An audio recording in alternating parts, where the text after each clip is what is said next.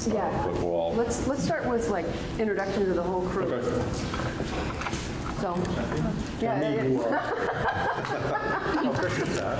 No, I I did. I'm, I'm Tammy Benoit, I just take notes and give them to Lisa. Uh, Rodney Rainville, uh, School Board Director, Bethel. Lisa McCrory, uh, School Board Director and Clerk for, and I live in Bethel. Andrew Bowen, elementary principal, both principal in Bethel and Bethel resident. Jess Ryan, School Board Director, Royalton. Andrew Jones, I'm School Board Director, Vice Chair um, from Royalton. We're missing Owen Bradley tonight. He's got a previous uh, personal thing he's doing. Um, I'm Bruce Labs, the superintendent. I'm Tara Weatherow. I'm the business manager for the SU. I'm Reba Kraken, uh, high school principal. And I'm David Walsh, the elementary principal here in South Royalton.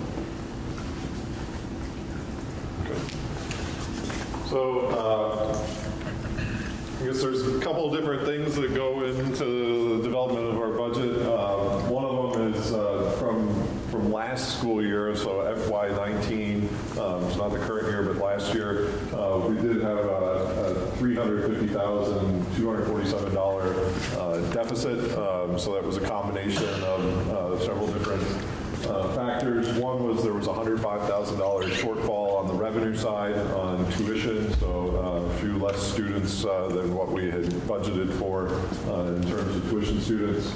Uh, Another issue is uh, for HRAs, um, the the health, uh, was it, the R stand? Health reimbursement arrangements. Yeah, health reimbursement arrangement uh, wasn't budgeted properly, so there was a $50,000 uh, shortfall on that. Uh, Our SU office, there was an overage of $104,000 that we were uh, responsible for as part of our school district and our contribution to the SU. Uh, The SPED, uh, so the special education uh, funding was also uh, $100,000 shortfall that was our portion Uh, we also had some office understaffing, so, um, so like here, I think it was here in the front office, uh, we had, some- we were understaffed in, uh, in terms of what was budgeted for positions, so there was a $50,000 uh, shortfall on that. Uh, And then for grounds and maintenance, uh, we uh, had new contracts for mowing and snow plowing, and so there was, a- and then there was other maintenance issues over the year that uh, uh, went $50,000 over what was budgeted. And then, uh, and then merger facilities work, uh, there was also an additional 50,000 on that. Yeah, some of that was um, like the middle school shop or, or uh, makerspace, you know, that they wound up developing that more than had been budgeted for. And so that's, that's not necessarily stuff that was directly related to the merger, but more added things that happened. But that happened before we realized that there was a deficit, so. I just want to make sure I understand. These are overs and unders relative to budget, not relative to the prior year. Is that right? So, Yeah, 19. Nine, so a year ago. so if there's a maintenance increase, it's not that the maintenance necessarily went up by any certain amount, it's just that we were off the budget by that. Right. Right. Okay, thank you. Uh, But the maintenance contract did go up significantly. And so that's why we. The maintenance may have gone up by 300,000, but you only budgeted for 200, an increase of 250,000. Right, yeah, what the maintenance cost versus what was So budgeted. this is just how we were off the budget estimates. Right. Thank you. So in our current budget year, this fiscal year, FY '20, uh, we've, in response to those, uh, those budget uh, differences, we've, uh, the the principals and the staff at the, at the Bethel and and Royalton campuses have worked on uh, limiting spending on any non-essential items um, to help try to bridge some of those gaps uh, between what was uh, in last year's budget and, uh, versus this year. Uh, So trying to absorb uh, as much of that difference this year as we could so that it doesn't get passed along uh, into future budgets. So, um, So for our current budget process for going into FY '20, so what's going to be coming up for voting uh, here in a couple weeks, uh, our goal coming into the budget process was to keep the, uh, the rates uh, equal or keep the equalized rates level. So our goal was to try to have our spending be the same uh, for the coming year as it was in the current year. Uh, So uh, in the original first draft of the budget, it did end up going up 7% due to different uh, uh, contractual matters in terms of staff raises, uh, healthcare spending increases. Um, So uh, from there, we worked on trying to address that 7% and bring it down to a lower value by decreasing any non-staff spending um, and then cleaning up the budget. And that brought us down to a 3% increase. So some of this included reducing staffing by 2.7 FTE, um, and which included trimming some of the elementary staff to better match the student levels. So at each campus, uh, we're going down one elementary school position. Um, and then, uh, um, and so that got us to a better match with what the student levels were uh, before uh, CLA and incentive decreases. When we looked at the budget, there were additional cuts that we could make to get us all the way down, so that what we're proposing isn't actually all the way down to the same as the, this current year's uh, uh, budgeted amounts. Um, We considered fur- further cuts, uh, but we thought that they were going to have too much of a negative impact on the students. So things were- that were considered were, you know, we could have potentially eliminated French uh, uh, classes from the high school and only offered Spanish uh, face in the classes. Um, Didn't really want to do that. Uh, It would have put us as one, I think, the only high school in the area that was only offering one foreign language if we don't offer French uh, in addition to offering Spanish, so something we didn't want to do. Um, There was also going to be a cut potentially of uh, cutting one social studies class uh, from the high school. Um, So, and that's not just, well, not, not a section of a class, but actually one specific topic, uh, a a specialized course uh, from social studies. So uh, that was, again, something we didn't really want to do. Um, And then we also were looking at uh, you know, we could cut family and consumer science uh, from the program, potentially, just based on potential enrollments. And then the other one was outdoor education coordinator position at the high school was another position that we could have cut. Um, But at the time, we don't want to. I guess right now, the goal is to try to offer it for freshmen uh, and try to build it up. Currently, there's not a lot of interest among the upperclassmen students uh, for it. So the goal was to try to offer it to like the ninth graders, I believe, right? All right. So I'm going to take over and talk about what we wound up with. Um, So, oops, that's, so to talk about how spending changed between um, last year and this year. Um, Going into the budget, we um, were budgeting staff raises of 3%. We haven't finished negotiations or anything, but that's kind of a ballpark figure for what we're looking at. And we're looking at pretty steep health insurance increases of 12% this year. Um, We also had our SPED assessment is up thir- $138,000, which is 13%.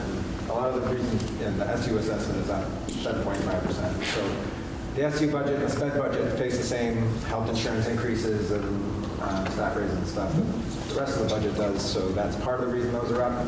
Another part is that with our changing um, student populations throughout this SU, um, our percentage is up a little bit this year.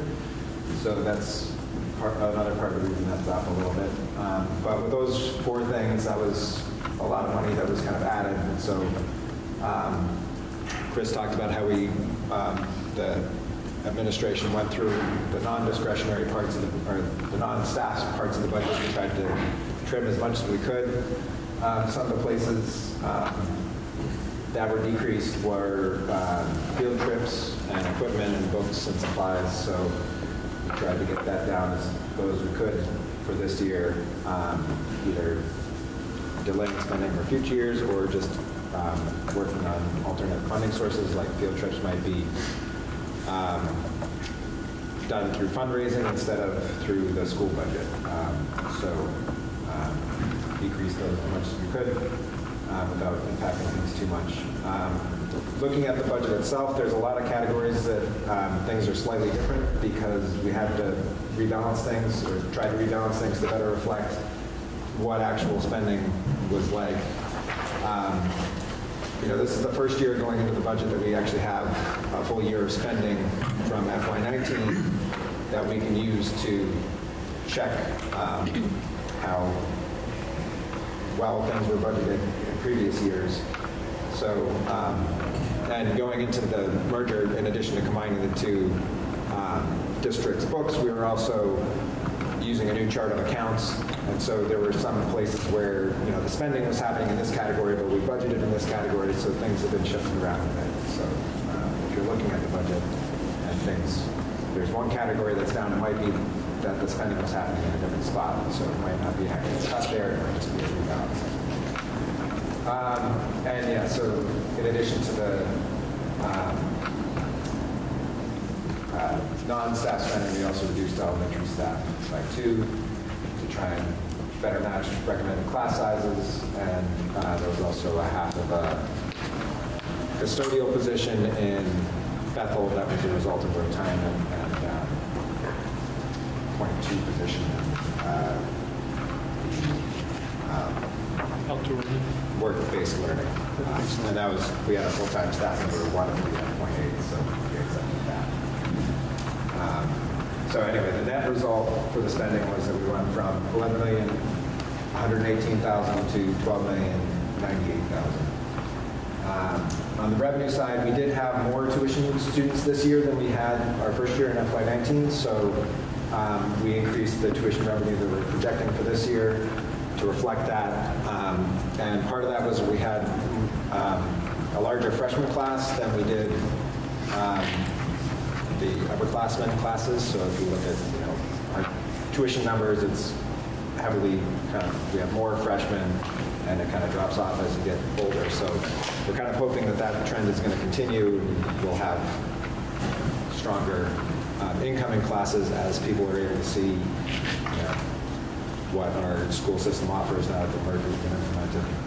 Um, And so our we're- tuition revenue is up $150,000. Um, But that's offset some by the federal funds decreased by $60,000. And we had a balance carryover last year, which with our deficit, we're not adding any money into the budget this year for that. So um, that's offset some. So our uh, revenue is up a little bit, but not significant. So, um, look at the final piece of what goes into per pupil spending, enrollment. Uh, Our our equalized pupils were essentially flat this year. It's down very slightly, but um, essentially flat.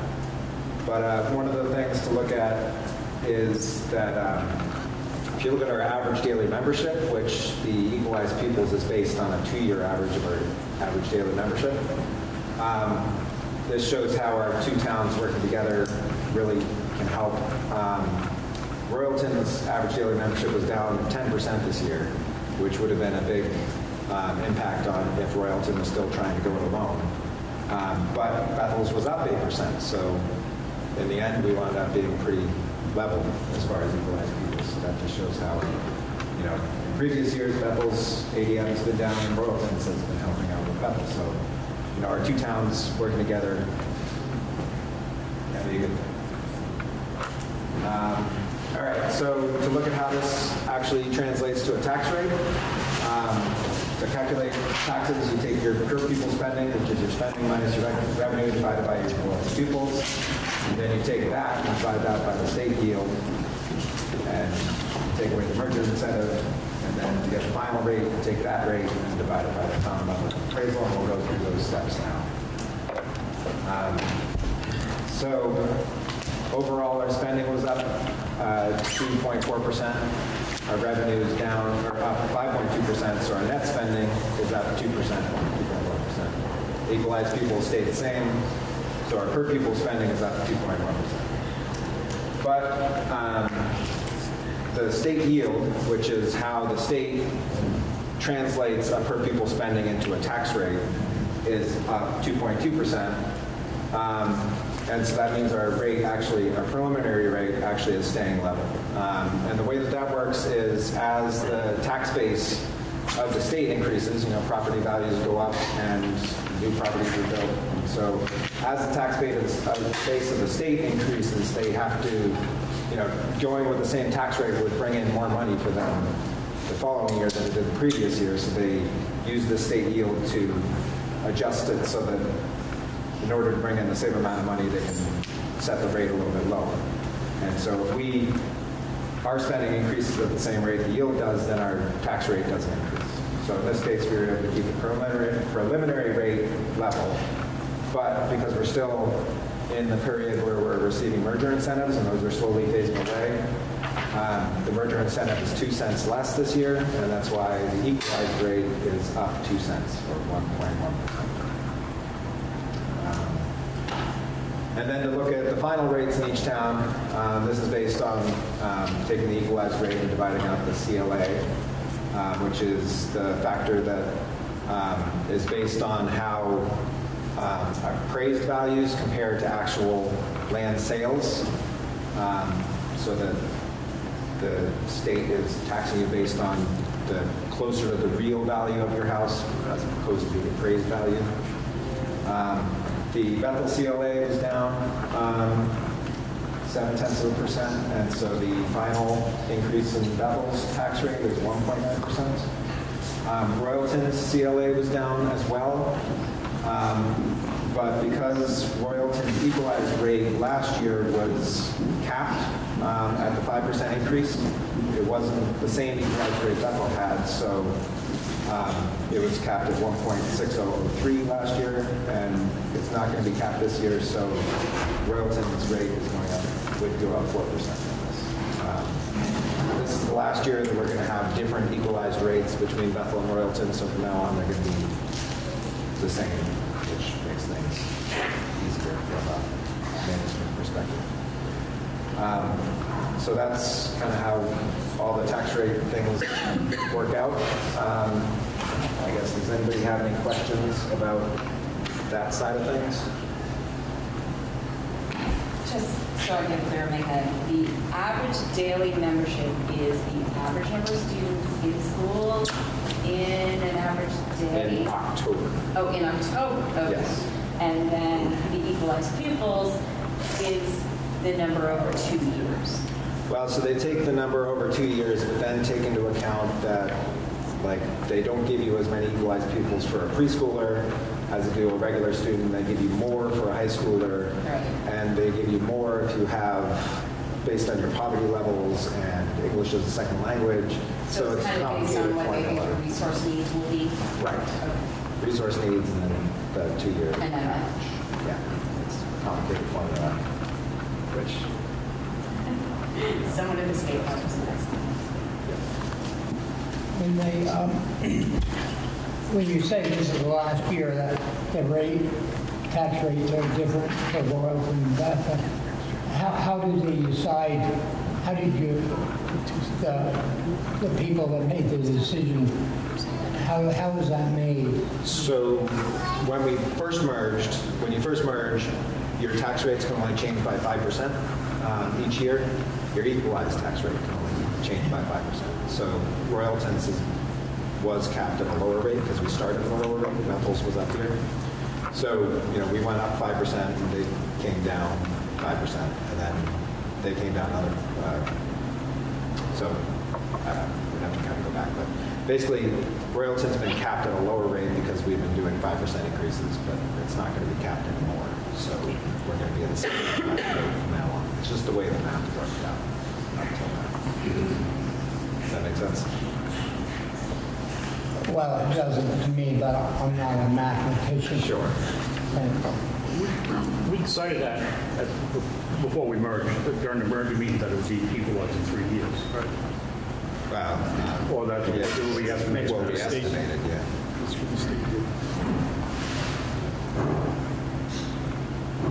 The they equalized it out, they equalized it out over those years to sort of make it like an on-ramping for all the involved groups so that there wasn't a sudden change in, in different towns' tax rates from, from from prior to merger to after merger to where it was, there was sort of an on-ramping, uh, so similar to what happens in other times when there's like, I guess, like when we've had some different contractual changes or when the SU merged, there was some on-ramping and merging of, of different contracts among the employees and stuff to get everybody on one contract. So it was the same sort of thing here where rather than just changing us all immediately, there was a three-year phase-in period was how they did that 5% staging. The CLAs will still be different. but- Yes, CLAs will still be different. Our equalized rates will be the same.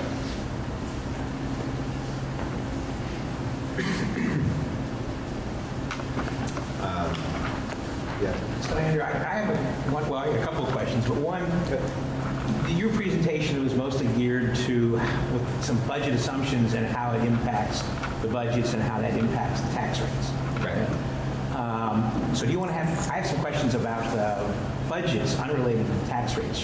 Sure. ask those No, now? So one of them was unrelated to tax rates.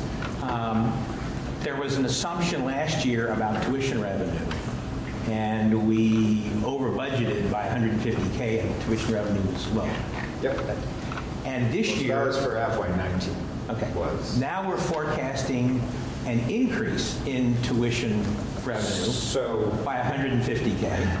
so last year, or when we first we budgeted, I think it was $640,000. And we got basically 500. And so um, when we went into FY '20, so last year, when we were doing our budget, we set the tuition rate, or tuition, expected tuition at 500,000. Okay. So we decreased it that last year. This year, we have so far received somewhere around 600, and- Do you want me to give the same answer I gave last night? yeah, go ahead.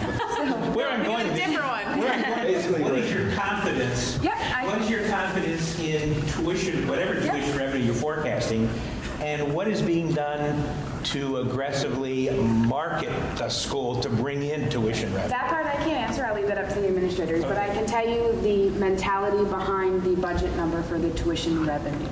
We took this year's ninth through 11th graders with the expectation that they're going to stay at the school because they're here now, and that was 33 students. Uh-huh. And we multiplied that by the FY21 announced tuition rate Okay. because that was set by the board in January, and that was a higher amount. So that was the base of it, and then we added a projection of five new freshmen coming in. So that's where we got the number. So we were very conservative as far as what we projected for new students, but kept the 9 through 11 students that are currently here. More aggressive in marketing. That's the principles. So the, the board charged the- me, the high school principal, uh, last year with coming up with a plan to do that. Um, And so this year, we'll, we'll execute the plan as we did last year, um, which is framed around an open house for all students that we potentially could serve. Um, we, I, what we do is identify all the eight, possible eighth graders uh, that we can identify and send out invitations to those families um, to an open house, uh, put an ad in the Randolph Herald, um, publicize the event you know, through Facebook, social media, those other things. Um, and we did a pretty good job with that last year. It was a pretty successful event. The majority of students were already in the middle school, and most of them were coming to learn about the school. Uh, but of the students who weren't in our, you know, within the district, uh, we had a, a relatively high rate of recruitment from them. Uh, so, you know, there are another, another number of anecdotal examples where parents and students were kind of on the fence and not sure what they wanted to do, and after that open house experience left yeah, this is what I want to do. Uh, so we, we felt pretty good about that. You know, the reality is that the eighth, you know, the size of the eighth grade in Chelsea is not that big.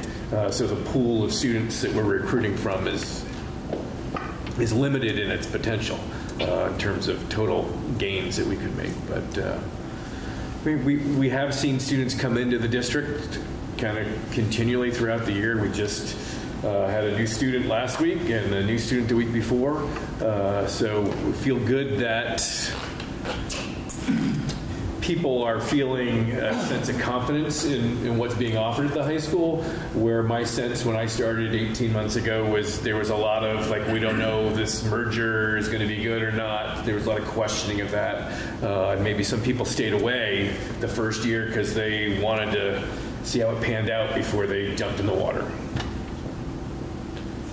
Yeah, that, the first year too, that FY nineteen, the shortfall, when we came up with that number, we didn't, we didn't really have many tuition students, and it was sort of, uh, you know, with with the new merged union school, it was uh, sort of a, a best guess as to what the number was going to be with Chelsea's high school closing and with Rochester's high school closing, and so our initial estimate was off. Uh, But now, with a couple years of data and knowing how, what grade each of those incoming tuition students are in, we can do better estimates of what we're going to have the following year in terms of tuition students, as Tara said, with how we're estimating incoming freshmen.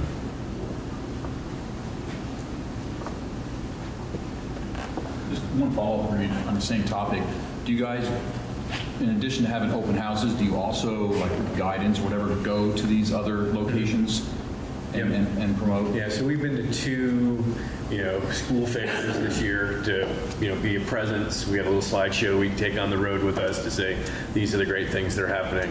Um, yeah, so we would have gone to one in Chelsea last fall around Thanksgiving, uh, which is kind of one of the more important ones since those students can all easily choose to come here. And then, and then uh, one other follow-up, do you- do you, in, in in addition to promoting the goodness of this particular school, do you also do a competitive analysis against our closest rivals, you know, to see how we stand against them academically and other ways? We haven't done a formal competitive analysis. You know, we, we do keep track of things such as the strength of our instrument lessons and our music program and things that we offer that some of the other schools just can't offer.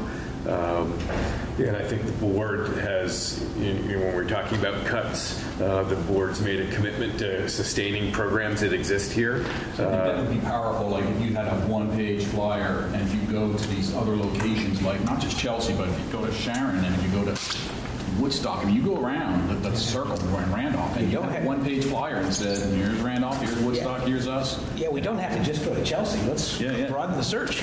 Just, just an idea. Strut our stuff, man, we got some good stuff here. We do have a flyer, amongst the things that are listed are some of the unique programs, like, I think we're the only school in the area that offers introductory guitar lessons. It's that sort of thing. We even uh, have gone to elementary schools to try to get the kids into the middle school. So uh, invited them in for field trips and whatnot. I'm going to add that to my to-do list. I guess I have a- a broader question. I've, I've heard tonight you guys have had to make tough decisions about programming and not affecting students with language or music or whatever. And I was at a meeting a couple months ago, and and Lori was concerned about curriculum scheduling and because of financial constraints and so on. The whole reason for the merger, and I was, so you guys are all aware, I was very involved in pushing for consolidation five, six, long, many, many years ago, and really thinking about the benefits. And others, people sitting around here, had strong concerns about consolidation. And I won't say who they are, but people sitting here know who they are. And the argument in favor of it was we can not only help the taxpayers with cost efficiencies through a larger critical mass, but also provide enhanced educational opportunities. We can have it both ways. And was that too Pollyannish? Are we, now we're struggling with finances and talking about cutting back on programming? Were- were- Was that too many rosy eyes in terms of the benefits of consolidation? I know it's hard, but we should, I still believe we should be able to have efficient economics without having to cut back on programming. Am I wrong? Some of the, I think, or at least one of them is, one of the costs that's out of our, sort of out of our control is the healthcare costs increase. Uh, You know, I don't think that was That was in predicted. the equation. Yeah. That wasn't predicted. So, and so we've had a couple of years in a row now of, of double-digit increases in healthcare. So it's sort of, you know, it was, I think it was 10, was it 10%? So, Or so close to arguably 10% last year. and then consolidation, it would be even worse. Yeah. Yes. I, I believe so. Just, if I could address it, uh, coming from the other five towns in this SU, developing budgets with them, they're all up against the cap. Uh, It's all, it's, you know, they're trying to expand things and offer opportunities for kids at a, at a cost with some of these other things, like was just said, that are hard to control. Um, And I think this board, um, we anguished with, with trying not to take away opportunities. Um, You know, we, we did what we were told to do, and that is to take it down to a zero, zero increase. And then that was going to, that was going to affect programming, and the board really didn't want to do that. And I applaud them for that, uh, because we had told the towns that we were going to try to be very, very cost-effective this year and conservative this year on the taxpayers. But um, you know, that's basically the reality of, of now, what, two years out after we've, we've merged. Uh, Healthcare is still going nuts. We've, we're going to be, you know, settling a teacher and a support staff contract, and we don't know where that's going right now, uh, but that's a factor that you can never predict two years ago. Uh, So there's just obstacles, and uh, I I guess I can't say anything else. One, one thing that was shared last night, uh, because there were a lot of similar questions, was just highlighting the fact that, you know, before the merger, there were less opportunities, and with the merger, both schools had an opportunity to provide more, you know, more electives, more opportunities to have access to those electives.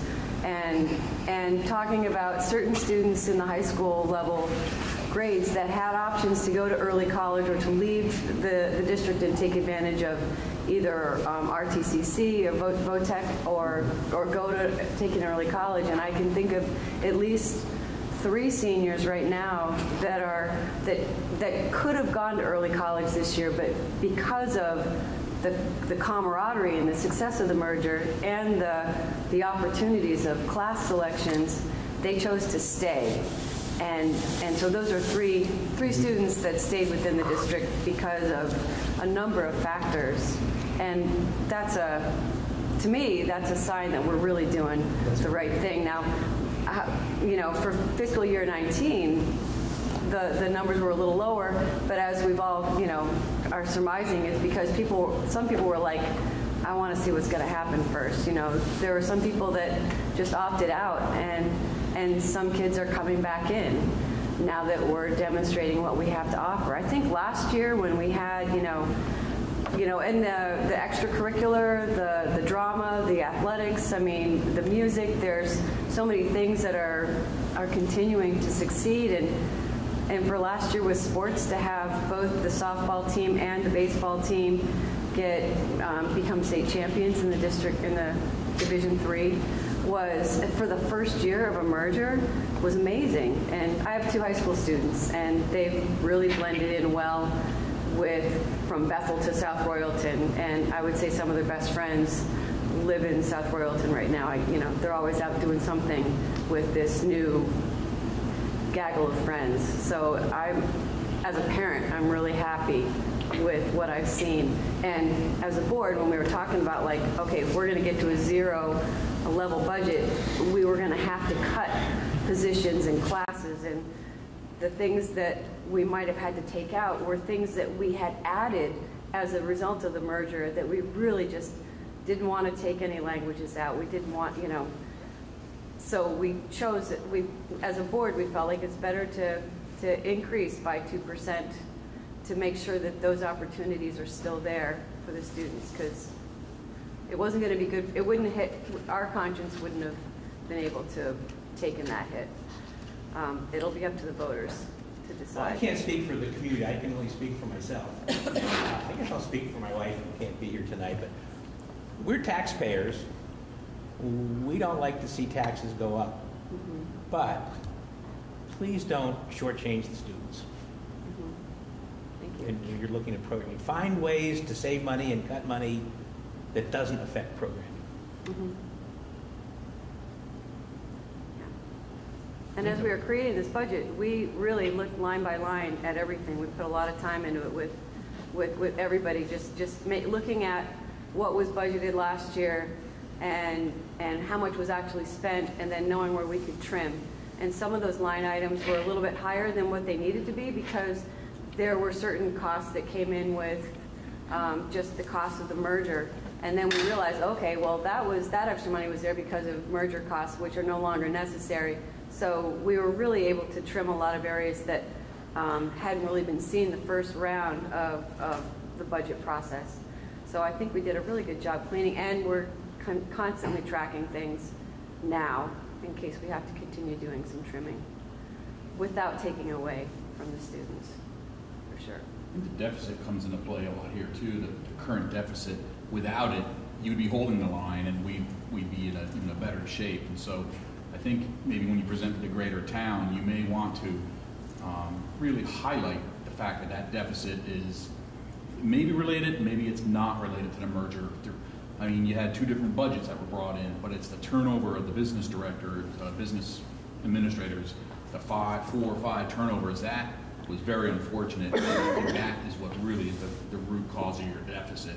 And that's independent of the merger. So, but there are, there are, com- you know, there are commonalities of the two different, bringing two different uh, ledgers together. Um, That's, that's got to make it even more difficult. But I think you may want to highlight that that, that is independent, I guess, of the merger and not, not because of it. The turnover. The turnover of the business. But that turnover office. That had, had a real financial cost. It wasn't just, Yeah, that's what I mean, it, it it Oh, hurt, and, and, but it's independent of the Turnover merger, and money, you may turnover want to costs highlight that for for naysayers. you know. so you've mentioned healthcare costs as a challenge because they're really outside of the schools and school board's control. What about administrative costs due to state or state and federal, federal requirements? They've always been there. Are they getting worse? I mean, how, what percentage of the school expenses are due to administrative burdens just to administer what the state requires? And I'll fold in the SU, not just, not just the school, but the SU, because you're paying for the SU. How, how much of our burden is due to administrative state requirements? There's a tremendous push from Montpelier to move a lot of the local, the traditional local control issues to the SU. Is that going Uh, to raise costs or lower? No, I'm, I'm talking about things like busing and um, uh, special education, and now we're hearing um, food service. That basically they want it in a centralized situation as opposed to what the districts did. And that's not of our making, we're, that's of their making. Uh, And I know every place I go, uh, people are railing about that because they, they believe that, that it's, it's outside of their realm, that they have no control over it all of a sudden. Um, See, again, I'm a great believer, if you centralize, you should be able to lower costs, but it appears that when we do centralize, the costs go up, they don't get lower, so I'm leery Well, that. I mean, there's the factors we talked about, the health insurance and salaries and things like that are always going to be in play. In play. Um, we, we, uh, it's staggering to me how much healthcare has accelerated over the last, but it's, it's the generation that are retiring, I guess. What's the SU supervisory head count compared to the, as a part of the overall school head count? I take all the faculty in all the schools, and the SU, what's the SU administrative? Are you talking about the supervisory union central office or? Yeah, the- the central education? office to run all the schools. We compared- have, There's a list of all the staff and the But reports. this is, is it Yeah. three percent, is it ten percent? I think we have 15 people in the central office that run one program or another. And yet, but five of them are paid By hundred percent by grants. Well, There's a million dollars in grants that come into the SU. A million, a little over a million. Actually, Cynthia, is it uh, one, one million, one hundred thousand, What's something about like that? si- A a million six, I think. But uh, the other, just as somebody who runs one set of programs, the paperwork to do the, uh, the grants is twice as much as it used to be, and the grants are less than they used to be. And every time we turn around, it's the fast, the food has to be, you have so much documentation that is absolutely ridiculous. And that, I think, is taking up our administrative time. And then, and then in- within the schools, what's the, what's the faculty head count as a percentage of the total head count? Is it three quarters, sixty percent, ninety percent? Because when the rubber hits the road for programming, it's, it's the faculty that push your, I would, how big is the faculty compared to the whole? Like, do you want to include janitorial and food service and all that stuff? or Secretaries. Like faculty versus administration? Well, not all head count is the same, right? That's professional headcount. All, all the, hey, I mean, all the personnel are listed on pages six, seven, and eight in this report, but we don't, we don't have the metrics. We have to sit and do some calculations. All right, well, I won't waste. Well, you know, one of the cuts that has been made with this proposed budget is taking away one elementary teacher in both schools to bring the uh, student numbers per classroom to more like 17 students per classroom, where some of them were getting to be, you know, less than 10 students with, with a teacher. And, and those changes, as the administrator said last night, probably would have happened anyway, just to make sure that there was the right student-to-teacher ratio that was a little more, you know, responsible. responsible. I'm just assuming you guys have scrubbed through all those numbers. Mm-hmm. There's no more fat, right? We're, we're trimming a lot, as much as we can. Yeah. Well, in a way, you're, at, at the elementary school, you're at the mercy of uh, the birth rate. I mean, they're either live there or they don't live there. Well, and sometimes a family of three or four kids come into town, or sometimes they move out, and all of a sudden, that puts quite a hit on a small, small school. It's a big percentage in small towns. Mm-hmm. One follow-up question on ESU is, are we still, um, we're working the lion's share of, of the assessment. Are we not still, are we still? equally 41, you're propor- paying 41%. Forty-one percent, but are we still equally proportioned from a representation at the SU board level? Are we the same number as First Branch and Strafford and Sharon? Yes. It- Right, it's, you Is that know, ever gonna change? there, there is a process in motion. I don't know what the status is. I I missed the second half of The- your, the Representation versus assessment, so we're forty-one percent assessed, but we're We don't- equally represented compared We're, to we're given a lot of money and we don't have a proportionate share of votes. We did, we did try changing that kind of immediately after the did. It merger. came hard. I think it'd be worth trying again, because that was before Tunbridge and Chelsea were fully through their merger, and Sharon and Rochester and Stockbridge, so we might So let me bring just, it up again. as a follow-up, just how do you, whoever's on the SU board, from this board, how do you feel your representation, do you feel it's okay and fair, or do you feel you need to take advantage of it? I I think uh, we do a very good job at it. We we have better attendance than any other district. Yeah. We always, we have three members on the SU board, and we usually show up with four or five of us at the meeting. We got two extras. Even though the two extras can't vote, they can still voice their opinion. So it's, we're always, and even like the executive board, which is just the chairman goes to, Andrew and I, well, we've all gone to the executive boards as members of the public to, to represent our district. Do you So ever- we, we overrun them. I mean, we. That- we- Do you ever come across a conflict, though, where like a Strafford is looking for an allocation that doesn't benefit this district, or s- as an It example? hasn't been an issue. It hasn't been an issue yet. Okay, thank you. But we, we, we're pr- we're fairly noisy at the board meetings. Um, To add on that, there's one thing that I've never properly understood, and I always think of it during the actual meeting, and I just want to go home and vote, uh, and vote and go home in that order. Um, I still, despite my best efforts, not a math person, not wrap my head around, okay, there's X amount of money in our budget that goes to special education. It's distributed through the SU. How did we end up with a deficit? How, because, uh, sort of the impression I had in my head was we just threw a certain amount of money into a big pot in the SU, and then special education was sort of evenly distributed from there. Because no, that way no one district would end up holding all the, having to pay out all the special education. So like, you know, almost like an insurance kind of thing.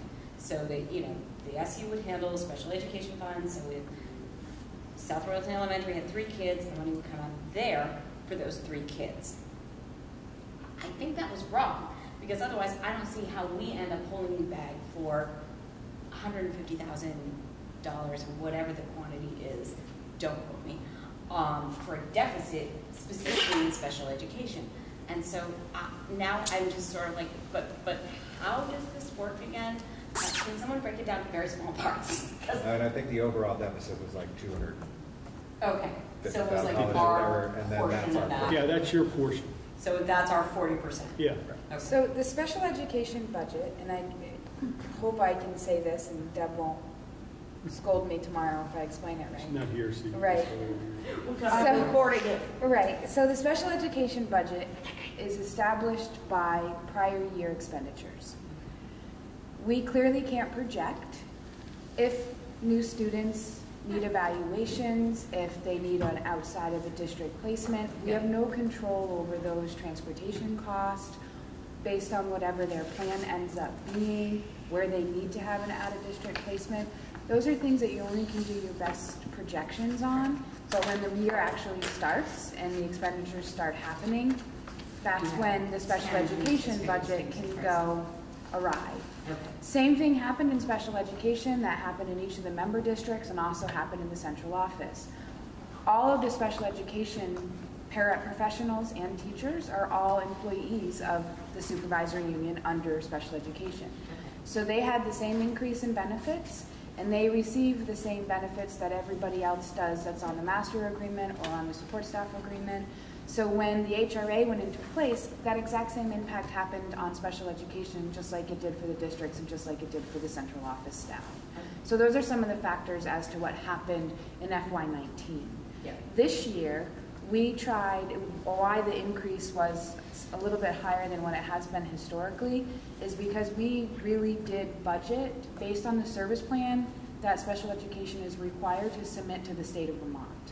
And in the past, that number's been reduced after the submission's been done to try and keep it, and then that's where we end up having a deficit in the end.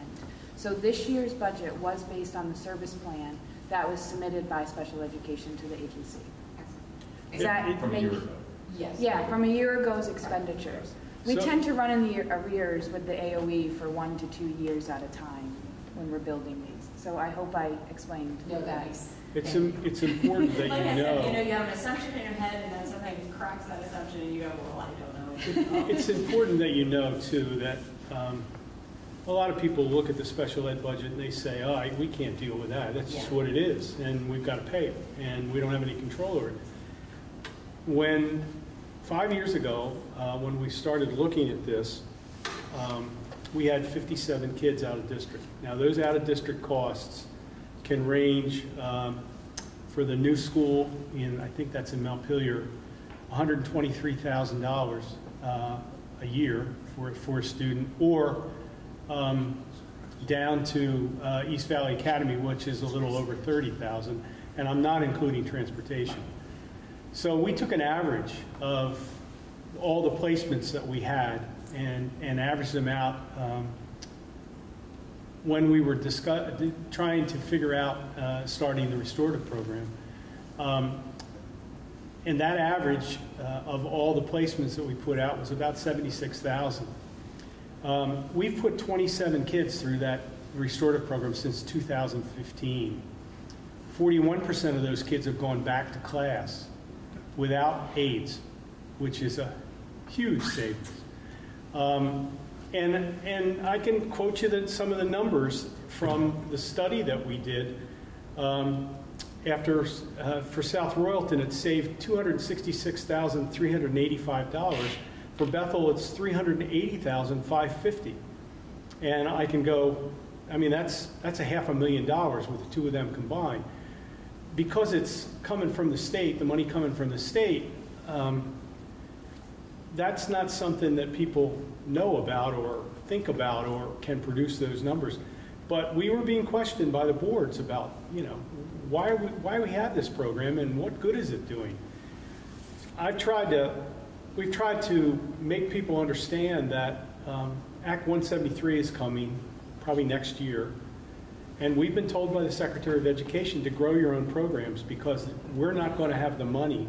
We're going to get a block grant, and you have to live with that money. They're not going to be funded from, from Montpelier anymore uh, than that. And so they said, you guys need to form your own programs because you're not going to have the money to send to the new school or all, these other places. And so what Tara told you is, is part of the issue. We can't predict how many kids will be tested at thousands of dollars a pop every year. We can't know who's going to move into the district and what kind of needs they're going to have, um, or family situations for kids in our district that cause them to go in a different direction. Um, I'm, can't, you know, we now have, we had 52 kids out of district five years ago, and we have 27 now. And so it's been cut in half. And all of that is saving a tremendous amount of money, but it's hard to see. Yeah. It's hard to visualize. Well, especially since the kids who are out of district were literally not visible. You know, it's just this drain that, you know, we obviously can't talk about Mhm. John Smith, who's in and out of district. is- Right. Is costing half a million thousand dollars. It's just this, you know, little line in the budget that we could have set up in this year. Thank you, guys. Tara, can I ask a question? When I'm looking at the budget, um, I think I got it down to where I use, I like to use the FY nineteen actuals against the proposed FY twenty-one proposed. Is that the best way to, to do a comparison? Because when I'm trying to say like what we actually spent last versus what is in the next forward going budget, is that, that a- like an accurate way to do my comparison? It's more, I mean, what we budgeted, yes, you can do that, but when we build the budget, we actually look at, we look at that as a factor, but we also look at this year and then make projections based on what we budgeted for this year, what we're trending for this year. And that's the FY twenty. 20 approved, yeah, Okay. because we don't have the actuals, obviously, because we're only halfway through the year.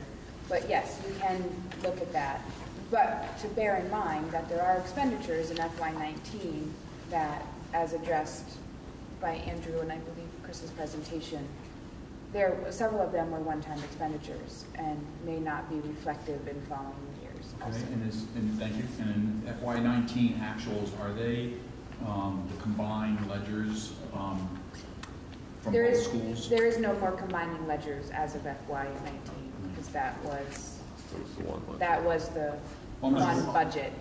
I'm just wondering about the, uh, the improprieties that led to the deficit based off the different business managers prior to you. Um, the FY nineteen actuals, are they confident numbers after your audit and whatnot, or is they, are they children of previous business directors, if that makes any sense?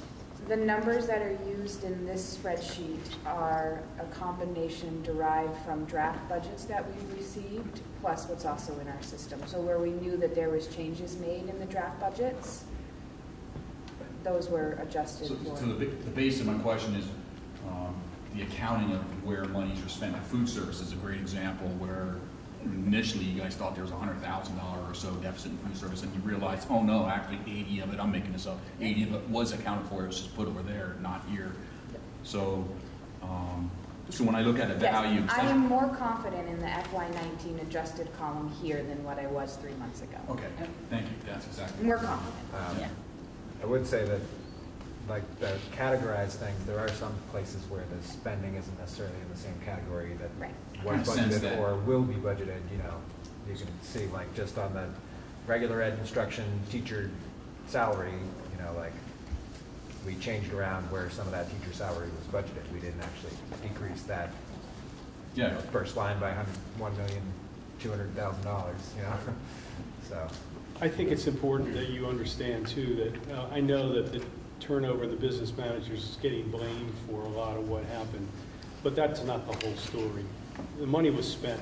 I mean, and it was, you know, it wasn't all the fault of the fact that we, we had Marilyn Frederick here, who was an experienced 30-year business manager who was here during some of those changeovers. And I'll admit, it- it- I'm not happy about what happened, but um, Tara's been here now, she- she'll have a year's anniversary in two weeks. And it's taken time to sort all this out, and time from our audit- auditors. I really feel pretty confident in where we are now with all of that. But you know, there's a critical shortage in business managers in the state and probably all over the country. We flew a lady in from uh, Arkansas to interview. We, we were beating the bushes trying to find good people. And you either have to buy one, steal one from someplace, or you have to, or you have to make one. And we don't have enough money to steal one because they're all being paid very, very well, probably more, more than we can do. But you know, we we really, Marilyn has stayed with Tara to work on all those little questions that, that need to be answered. She's worked with the uh, group, and I'm pretty confident that, and she also has a great work ethic. And that's probably a very skill. She's very smart, but it's also, she's got a really good work ethic. And that's the kind of elements or, or attributes, I guess you would say, that somebody has to have in order to be able to do this job because it's, and we beefed, up the, the, the office. Um, I guess we stole Ro- Rose, you know, I mean, and that's just been a, a great difference. We now have two accountants, which is, you know, when we appraised this whole thing, uh, and, and really took a long look at it, what do we really need? Um, we ended up letting go of about four people and, and then really kind of started over and, and really built something. And I really feel pretty confident about what we have now. Yes, Um, that's what I'm looking for, you know, is, is the confidence building, and I see it, and I'm, I- I see it in the last six months or so especially, and, um, and I'm not saying solely that the, the turnover in business managers was the sole reason for the deficit, but just by, by having the turnover, you're just having less consistency and eyes on that budget, and that's where it, it ran astray, so. Well, there were some people that I got, I don't want to go into a lot of detail, but there were some, some things that didn't pan out the way I was led to believe they might, you know what I mean. We're on camera, so I'm not going to get into a lot of detail. But I, I will say that, you know, we learned a lot from what happened. Um, and, and I really think that, that uh, we're in a much better place now, and we will be for the future. And I'm proud of that. Uh, It was really hard during the, during the time that we had to go through this. Uh, Did I read somewhere that, the- like, the def, the current, this deficit is like, of like a three or four, year, five-year plan, like incrementally to get it back, or is it I think we have three years. Three years. three years? Okay, thank you. We're hoping that through some uh, frugality this year, uh, we won't have to do that, and everything will be good. I know that, next year's budget. I know that uh, the principals and I sat in a, about a day-long meeting trying to figure out what we could do without, uh, and we came up with about a quarter of a million dollars worth of things uh, that we could hold the line uh, with, and I don't hear anybody complaining. I mean, they may, they may have complaints, but I haven't heard them. A, a quick comment and then two questions. The quick comment for the television camera there is you mentioned Rose. Put on my select board hat. The Royalton Select Board really blew it by letting Rose get too much involved in all of the politics of the town and away from her strength as a finance manager. And I think she's going to be a huge asset for the schools in being able to focus on that job and not get involved in all the other stuff that you know, distracted from her real strength. So I think that's a real great asset. We could for see it in the first week she was there. for everybody. So that's, that, so just to go on record for that. Did I hear you say we flew a candidate from Arkansas in here? Yeah. At our expense?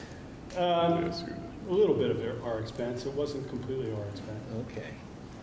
Uh, And then my second question is the FY19 actuals. So these are not yet audited, but these are actuals that you have confidence in, is that right? We are up- These are through, this is through last July? We are up to draft five of our FY19 fiscal audit with additional changes being made. This is closing the books on the year that ended last July. Yep. So I would hope that these numbers They're getting closer to where they need to be. I mean, we're six, how many months past the close of the books? We should close books faster than that. Absolutely. I know it's hard, but we should close books a lot faster than that. The, one of the biggest challenges and, and why I believe Andrew, I think, touched on it earlier, um, when the, in addition to the mergers happening, we also changed software systems. Right. And we also changed chart of accounts. So during that, yeah, so there was a lot. And during that transition, stuff wasn't lining up, accounts may not have been trans- transferred over. So as you're working through the year, trying to keep the day-to-day operations, and then you had the business managers leave and you had short-staffed in the business office, really trying to make sure that all of that closure, to make sure the software transfers happened, everything, all the accounts transferred over, that really got bogged down in the process. So So- that's what's taken So there were extenuating delay. circumstances. I'm curious, Absolutely. What is the board's expectation in a regular year without extenuating circumstances? What should be, what's the board's expectation for how long it takes to close the books after the year ends? Is it 30 days, 90 days, six months? How long does it take to close the books out? We initially put a deadline of, I think it was like. October October 31st. 31st. October 31st, so like one quarter. Yeah. Okay. And the other challenge that you have in the state of Vermont is there are very few auditing firms who will audit school districts. And then my last related question is, so Chris was asking about the FY19 actuals. For the FY20 current year approved budget, does somewhere on the back of an envelope, are you tracking expenses to date and doing an an estimate on where you're going to end this year? We do track our expenditures. The board and the administration gets an expenditure report from the business office every month. They also have access to the software system, So so there, they is can go there a full year projected where you anytime. think you're going to end up? I will do budget projections for- during the month of March. That's when I do, when, what you can expect to end at the end of this fiscal year. I have to get through budget season and then through town meeting, and then I can work on be hard. projections. It would be helpful for citizens evaluating budgets to see the- the actuals for the prior year, but to also see this year's approved budget and a current best projection on where we think we're going to end this year to compare for what you're asking for next year's budget. So you're going to ask the people in March for the, the following budget. It would be nice to see a projected where we think we're going to end this July. Then, not this year, but in future years. I I would really like to see that. That's just a good practice.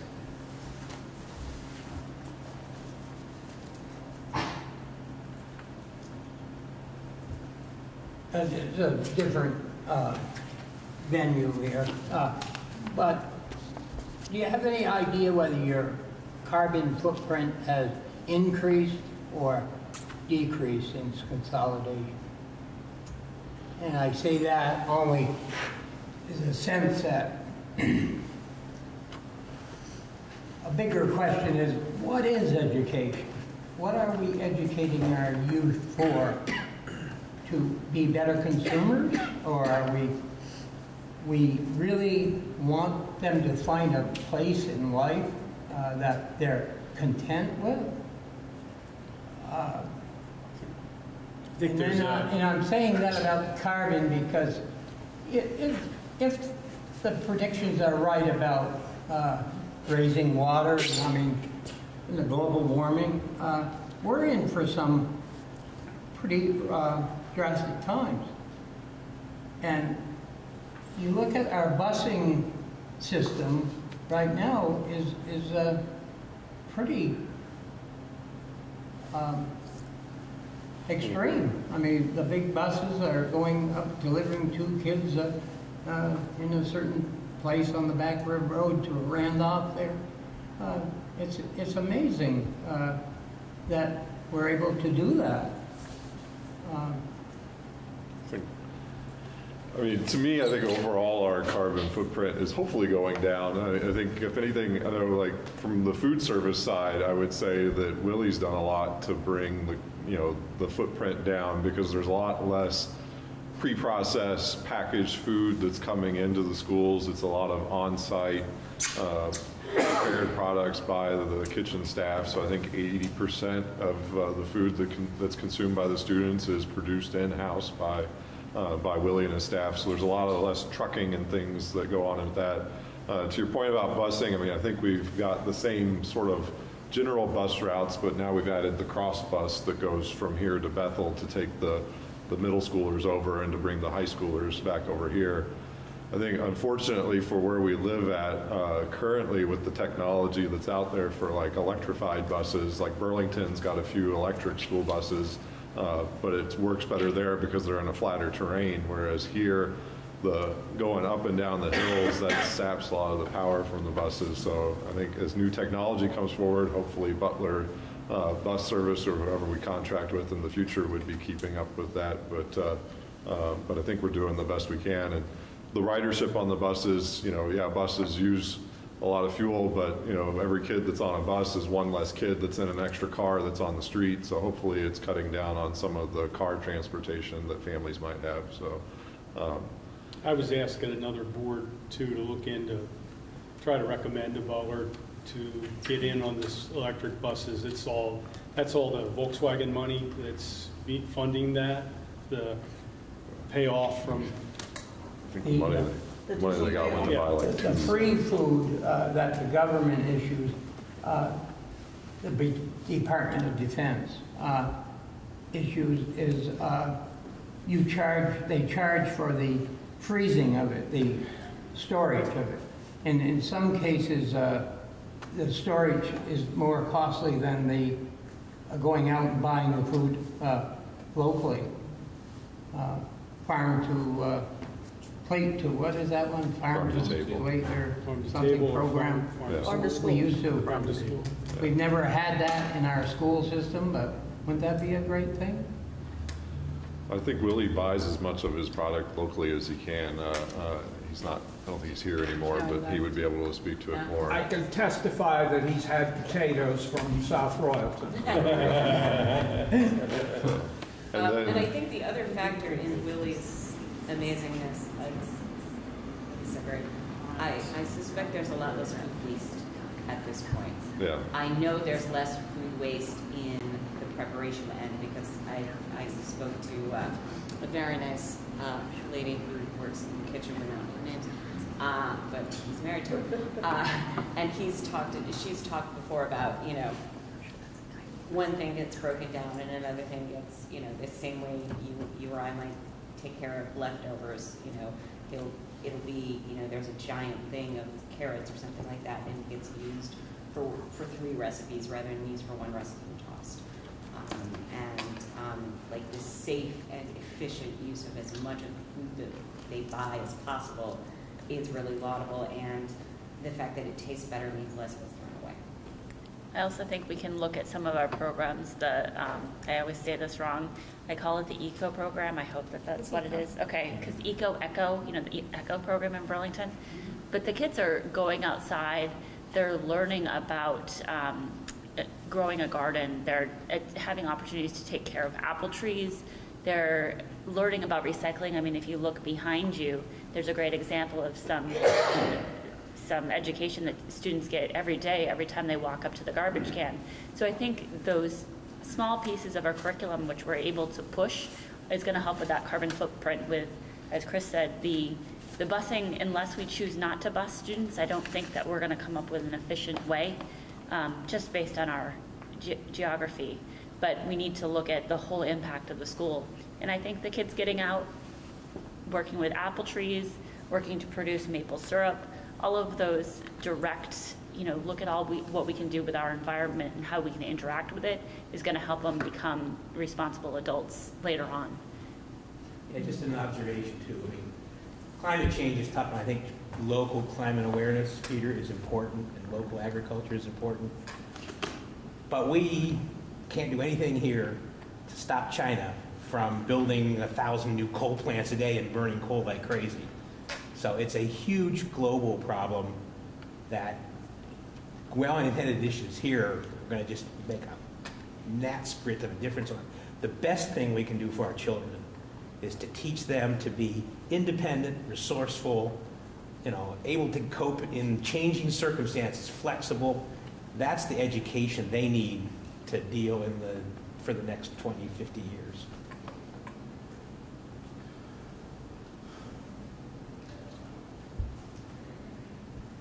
All right, any, any final questions? I guess the, uh, Mr. Jones, uh, last year you said, give me one more year. Give us one more year. What, what do you say now? Well, I mean, I think we are showing some progress with uh, tuition revenue. You know, like we did get a very strong freshman class, and if we continue to get incoming classes like that, that'll make a big difference for the budget. Um, And, you know, we're certainly doing our best. Um, Peter, believe me, he pushed us hard, real hard. um, Well, thanks for your efforts anyway. So I guess the last thing, just to, um, we do have a couple of school board members up for reelection. One of them will be me, um, and I managed to miss getting my petition in on time, so if anybody would like to write me in for the three-year position, I'd appreciate that. Sandra Jones. Um, I believe Jess is Yep. running for the one year, there's a position, um, Shannon um, Cornelius. Moral Cornelius. Moral Moral Cornelius, um, had moved to Bethel, so she resigned her position, and Jess is filling in her position for the end of this year, and then there'll be a one-year position on the ballot to fill that spot. And she's running against Bob Gray on the ballot, so I don't know if you want to say anything. Thanks. No, this is, this has actually been um, very eye-opening to step fully onto the school board. Um, Most of you might have seen me during the merger talks, um, as I was part of that group um, when this started. When I saw the um, budget forecast and some of the deficits, and uh, Shannon had decided to step down, I thought that that was a good, good time to step back in. I had, um, as you were saying, seen a lot of potential in the merging of the schools, and um, I had hoped that it would go a little bit easier, a little bit less rocky, and that we could see building some programs and saving a little bit of money too. Unfortunately, you know, that's not come to fruition yet, but I do feel like we're getting there. I think we've um, made a lot of progress um, in the elementary school.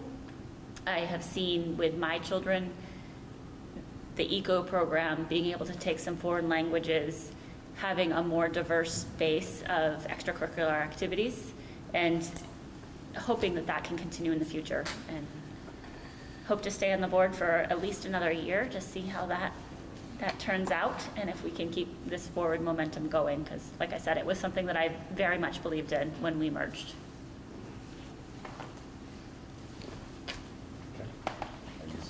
And then I'm going to be, uh, my name's Lisa McCrory, and I'm running for a three-year position um, as a Bethel resident. My term is up this year, so I'm just uh, running for the next, see my term, to, to, to continue it for another three years. I don't think You I guys have. are all unopposed, or do you have opponents? I don't have anybody um, else uh, that I'm running against for my seat.